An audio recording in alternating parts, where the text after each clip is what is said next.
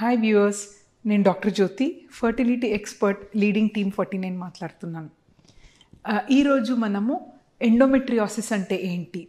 Endometriosis ఉంటే న్యాచురల్గా pregnancy రాదా అని చాలామంది డౌట్స్ ఎక్స్ప్రెస్ చేస్తున్నారు. సో ఈ వీడియో ద్వారా మనం ఎండోమెట్రియాసిస్ ఏంటి ఏంటి? దీని లక్షణాలు ఏమిటి? అండ్ దీనికి ఉన్న ట్రీట్మెంట్ ఏంటి? అండ్ ఈ ప్రాబ్లమ్ని మనం ఎట్లా రెక్టిఫై చేసేయాలి అని దీని గురించి మాట్లాడుకుంటాం. ఫస్ట్ మనకు ఎండోమెట్రియాసిస్ గురించి అర్థం చేసుకోవటానికి యూట్రస్ గురించి అర్థం చేసుకోవాలి. నేను ఈ దీన్ని ఎక్స్ప్లెయిన్ చేస్తాను. ఇప్పుడు ఒక లేడీకి గర్భాశయం ఉంటుందన్నమాట. యూట్రస్ అని చెప్తామన్నమాట. ఇది గర్భాశయం అన్నట్టు. సో పక్కనే ట్యూబ్స్ ఉంటాయి అన్నట్టు.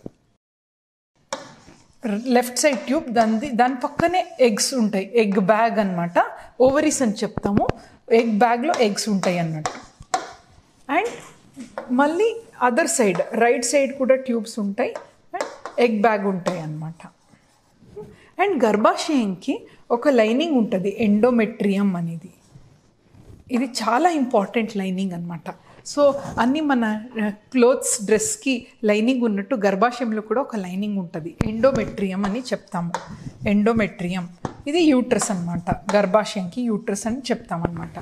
సో ఒక లేడీ ప్రెగ్నెంట్ అవుతే ఈ ఎండోమెట్రియం అనేది లోనే బేబీ అతుక్కుంటుంది అనమాట బేబీ అతుక్కొని నైన్ మంత్స్ వరకు పెరుగుతుంది.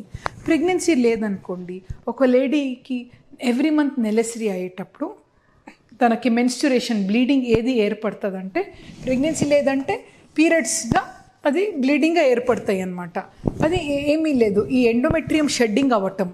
అంటే ఎవ్రీ మంత్ ఒక లేడీకి పీరియడ్స్ వస్తుంది. అది సహజంగా మనకు అందరికీ తెలుసు కదా. సే సపోజ్ ఈ మంత్ ఫస్ట్లో పీరియడ్స్ వచ్చిందంటే నెక్స్ట్ మంత్ ఫస్ట్లో పీరియడ్స్ రావాలి. ఒక ఫోర్ ఫైవ్ డేస్ అటు ఇటు నథింగ్ టు వరీ సో ఈ పీరియడ్స్ అంటే ఏంటి? మెన్స్చురేషన్ అని చెప్తాం. ఇది నథింగ్ బట్ ఎండోమెట్రియం అనేది షెడ్ అవ్వటం. సో అది బ్లీడింగ్గా ఏర్పడతాయి అన్నమాట. So every month endometrium shed అవుతూ ఉంటుంది. ఎవ్రీ మంత్ లేడీకి పీరియడ్స్ వస్తుంది. అండ్ ఆ ఎండోమెట్రియం షెడ్ అవుతుంది అనమాట so every month so this is called as menstruation అన్నట్టు. ఈ ఎండోమెట్రియం అనేది ఉత్తి గర్భాశయం లైనింగ్ లోపలనే ఉండాలి.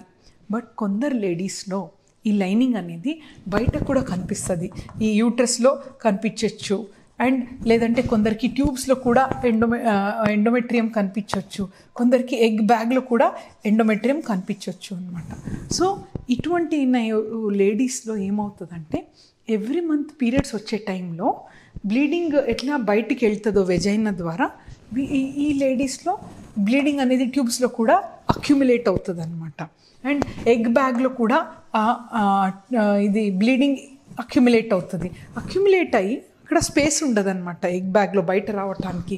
సో మొత్తం కలెక్షన్ అయిపోతుంది. ఈ మొత్తం ఎగ్ బ్యాగ్లో ఆ మొత్తం చాక్లెట్ సిస్ట్ అంటాం అనమాట పెద్ద సిస్ట్గా ఫామ్ అయిపోతుంది.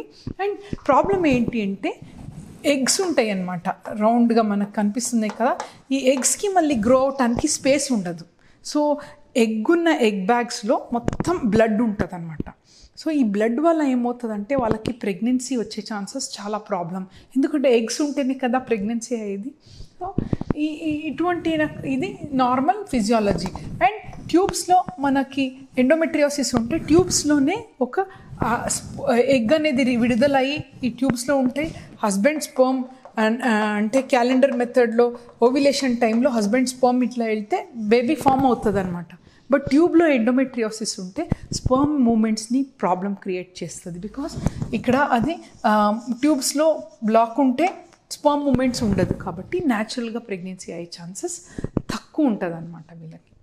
సో నో మనకి ఎండోమెట్రియాసిస్ గురించి తెలుసుకున్నాం సో దీని లక్ష మనకు తెలిసింది ఇప్పుడు ఇది ఎండోమెట్రియాసిస్ సో దీని లక్షణాలు ఏంటి అంటే లక్షణాల్లో మెయిన్ ఇంపార్టెంట్ సిమ్టమ్స్ పెయిన్ అనమాట ఒక లేడీకి పీరియడ్స్ టైంలో విపరీతమైన పెయిన్. సహజంగా పీరియడ్స్ టైంలో one or two hours or three hours of pain common అనమాట ఆల్మోస్ట్ ఒక హండ్రెడ్ మెంబర్స్ చూస్తే నైంటీ పర్సెంట్కి ఈ పెయిన్ ఉంటుంది. సో నథింగ్ టు వరీ అది ఫిజియలాజికల్ పెయిన్ చిన్న రెస్ట్ తీసుకుంటారు లేదంటే వన్ అవర్ తర్వాత పెయిన్ తగ్గిపోతుంది వాళ్ళు రొటీన్ పని చేసుకుంటారు. బట్ ఎండోమెట్రియాసిస్ లేడీస్కి ఈ పెయిన్ అనేది టూ త్రీ డేస్ ముందే స్టార్ట్ అవుతుంది. పీరియడ్స్ వచ్చే ముందే దే విల్ నో ఓకే ఇంకా టూ త్రీ డేస్లో పీరియడ్స్ ఉంది నాకు ముందే పెయిన్ స్టార్ట్ అయింది. అండ్ పీరియడ్స్ అయిన తర్వాత కూడా త్రీ ఫోర్ డేస్ పెయిన్ అట్లా కంటిన్యూ అవుతూ ఉంటుంది. అది డిస్మెనోరియా అంటాం. It's congestive type. చాలా సివియర్ ఉంటుంది. ఎంత సివియర్ ఉంటే కాలేజ్కి వెళ్ళే వాళ్ళు కాలేజ్కి వెళ్ళలేరు. జాబ్ చేసే వాళ్ళు కూడా ఇంకా జాబ్కి వెళ్ళలేరు. సో సివియర్ టైప్ ఉండొచ్చు. This is one symptom second husband and wife కలవటానికి పెయిన్ ఉంటుంది అనమాట పెయిన్ఫుల్ డిస్పెరూనియా అని చెప్తాం అన్నట్టు. This is another symptom third symptom ఏంటంటే పొత్తు కడుపులో ఎప్పుడు పెయిన్ డ్రాగింగ్ సెన్సేషన్ అంటే వాళ్ళకి ఎప్పుడు ఏదో బరువు ఉన్నట్టు పొట్ట దగ్గర. ఇదన్నీ సిమ్టమ్ అనమాట అండ్ ఇంకొక ఫోర్త్ సిమ్టమ్ ఏంటంటే పెయిన్ లేదంటే కూడా కొందరికి పెళ్ళి అయి త్రీ ఫోర్ ఇయర్స్ అయింది ఫైవ్ ఇయర్స్ అయింది. న్యాచురల్గా చాలా ట్రై చేస్తున్నారు ప్రెగ్నెన్సీ కాదు. ఇన్ఫర్టిలిటీ అనేది ఇంకొక సిమ్టమ్ సో ఇది యూజువల్ ప్రజెంటేషన్ ఉంటుందన్నమాట ఎండోమెట్రియాసిస్లో మనం ఇప్పుడు లక్షణాల గురించి అర్థం చేసుకున్నాం దీన్ని మనం హౌ ఉత్తి లక్షణాలే కాకుండా దీనికి ఒక ట్రీట్మెంట్ ఉండాలి కదా? హౌ డు వి మేనేజ్ అన్నప్పుడు? మనము ఒక లేడీ స్కాన్ చేస్తే మనకు తెలుస్తుంది అనమాట ఏంటి చాక్లెట్ సిస్ట్ అనుకోండి మనకు స్కాన్లో ఎగ్ బ్యాగ్లో ఎగ్స్ ఉండాలి బట్ మనకు సిస్ట్ ఏర్పడతాయి. So we'll diagnose it as mostly endometriosis Sista ఇంకా వేరే టైప్ సిస్ట్ కూడా ఉంటాయి బట్ ఎండోమెట్రియాసిస్ కనిపిస్తుంది మనకి స్కాన్లో. బట్ కొందరికి ఎగ్స్లో ఎండోమెట్రియాసిస్ లేదనుకోండి యూట్రస్ లైనింగ్లో ఉంటే అప్పుడు మనకు ఏర్పడదు. సో అది కూడా స్కాన్లో కొంచెం ప్రాబ్లమ్స్ ఉంటాయి అన్నమాట దాన్ని డయాగ్నోస్ చేయటం. అండ్ ఈ ఎండోమెట్రియాసిస్ గర్భాశయాన్ని గర్భాశయం మజిల్లో ఉందనుకుంటే we call it as adenomyosis అని. ఈ అడినోమయోసిస్లో ఏమవుతుందంటే గర్భాశయం సిక్స్ సెంటీమీటర్ స్ట్రక్చర్ ఈ గర్భాశయం as a lady become pregnant పెరుగుతూ ఉండాలి. పెరిగి సిక్స్ నుంచి seven eight ten fifteen twenty మళ్ళీ ఒక ఫిఫ్త్ మంత్ బేబీని అకామిడేట్ చేయడానికి సిక్స్త్ మంత్ బేబీ ఒక నైన్ మంత్లో బేబీ త్రీ కేజీస్ ఉంటుంది అనమాట సో ఈ త్రీ కేజీస్ బేబీని అకామిడేట్ చేయటానికి గర్భాశయం ఫార్టీ సెంటీమీటర్స్ వరకు పెరుగుతుంది అన్నట్టు సో ఈ capacity balloon like expansion capacity ఉండాలి గర్భాశయంలో. బట్ అడినోమయోసిస్ అంటే అడినోమయోసిస్ గర్భాశయం ఎండోమెట్రియోసిస్ వస్తే ఈ ఎక్స్పాన్షన్ కెపాసిటీ ఆగిపోతుంది. బేబీ సెకండ్ థర్డ్ మంత్ వరకు పెరిగిన తర్వాత అబార్షన్స్ అవ్వటము ఇవన్నీ అవుతాయి అన్నమాట no treatment.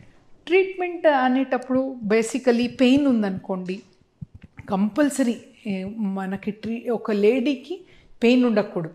That's the most important idea అనమాట మనకి. ఒక పేషెంట్కి when they come pain relief ఉండాలి.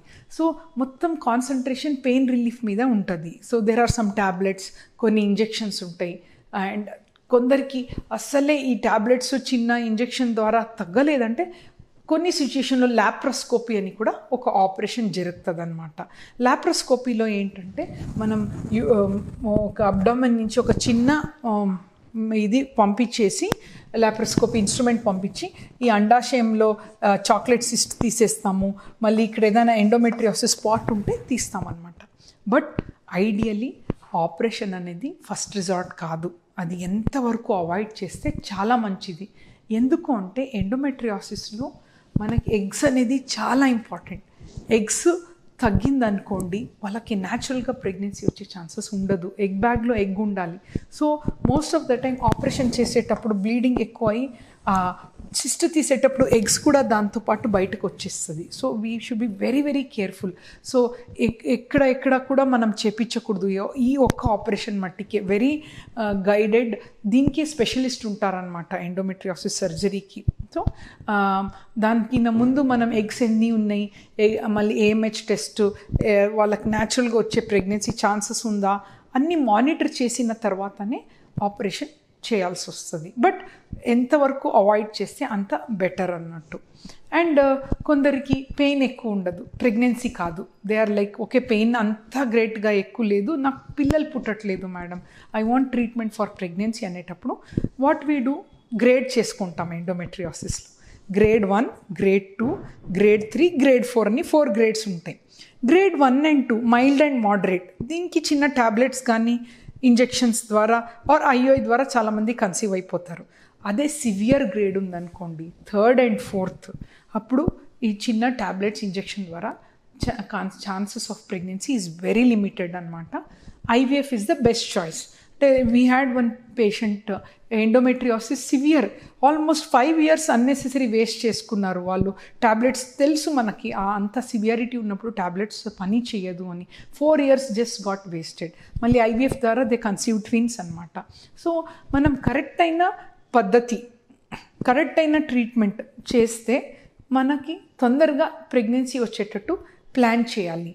అండ్ మోర్ ఓవర్ ఇది ప్రోగ్రెసివ్ డిజార్డర్ ప్రోగ్రెసివ్ అంటే పెరుగుతూ ఉంటుంది endometriosis for some people so egg బ్యాగ్లో ఎగ్ ఉంటే మట్టికి తొందరగా ట్రీట్మెంట్ తీసుకుంటే వాళ్ళదే జెనెటిక్ ఎగ్స్తో ప్రెగ్నెన్సీ వచ్చే ఛాన్సెస్ ఉంటాయి. లాస్ట్ స్టేజ్లో వచ్చినప్పుడు ఎగ్స్ ఉండదు. అప్పుడు ఇట్ బికమ్స్ వెరీ టఫ్ అనమాట అండ్ మైల్డ్ కండిషన్స్ అనుకోండి చిన్న ట్యాబ్లెట్స్తో కూడా కన్సీవ్ అవ్వచ్చు. సో ఎండోమెట్రియాసిస్ ఉన్న వాళ్ళు డోంట్ వరీ ఎట్ ఆల్ అండి. ముందు పెయిన్ ఉండే ఉంటుంది. పీరియడ్స్ టైంలో కలిసినప్పుడు పెయిన్ ఉంటుంది. మాకు ప్రెగ్నెన్సీ వస్తుందా లేదా అని డౌట్ పడేవాళ్ళు. బట్ బికాస్ ఆఫ్ సైన్స్ ఎంతో టెక్నాలజీ ద్వారా మనకి ఎన్ని ప్రాబ్లమ్స్ ఉంటే కూడా దానికి తగిన ట్రీట్మెంట్ ఉంటాయి అన్నమాట so this is about endometriosis. Thank you